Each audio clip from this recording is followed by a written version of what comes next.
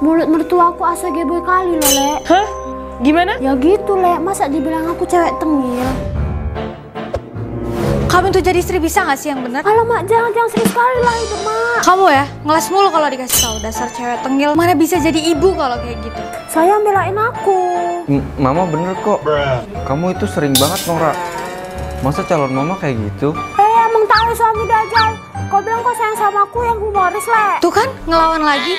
Kamu ya, pokoknya kalau kamu jadi cewek tengil terus, mama carikan si Kobe misteri baru. Jadi gitu, Noni. Bisa nggak commute muncung si asu boy itu? Kayak dewan-dewan kemarin. Gampang.